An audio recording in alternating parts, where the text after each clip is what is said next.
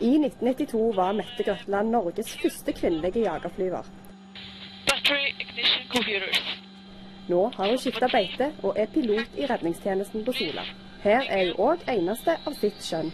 Begynn å fly. OK, du har radioen. Jeg tar radioen, du har kontroll. Jeg har kontroll. I dag skal hun og resten av besetningen på Sea Kingen ut på opplæring med to nye leger. De skal trene på å heises opp og ned fra helikopteret. Turen går mot Rennesøy i strålende helikoptervær. Og selv om det bare er en øvelse, må alle være forberedt på det verste. Det jo verste det er hvis det virkelig går skeis. Det er noe som heter cut wire. Da skyter det wiren. Da får vi bare håpe at den som henger i heisen, ikke er over båten. Det er nesten så brutalt, for eh, resultatet kan bli enda verre. Er, men nå skal det sies da at vi har ikke hatt heisuhell, at vi har hatt behov for det. Så det er ikke noe som skjer hver dag. Men det er bare greit at dere, dere vet, vi, vi vet om de tre tingene. Den er over halvveis oppe.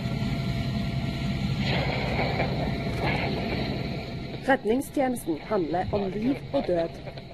Hovedfokuset er at du er på vakt, og du skal være klar og, og til å ta av innen 15 minutter og ut og redde liv. Det er bare en øvelse i dag, men Mette har vært ute for virkelige utfordringer.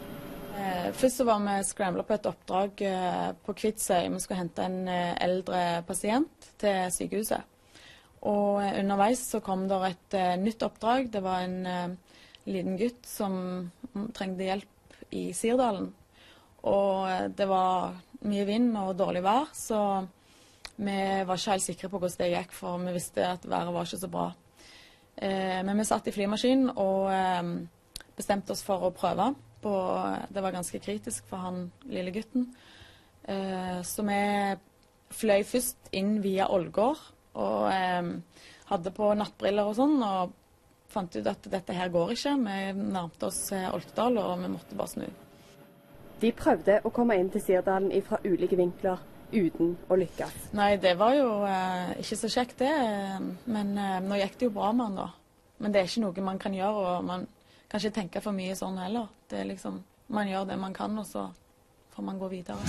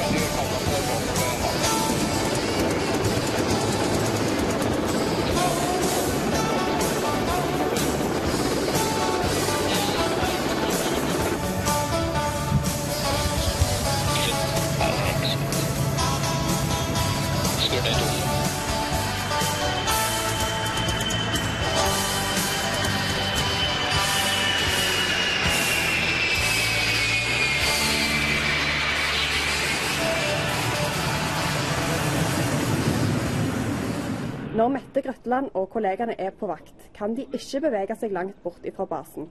Alle måltider er felles, og de får et nært forhold til hverandre.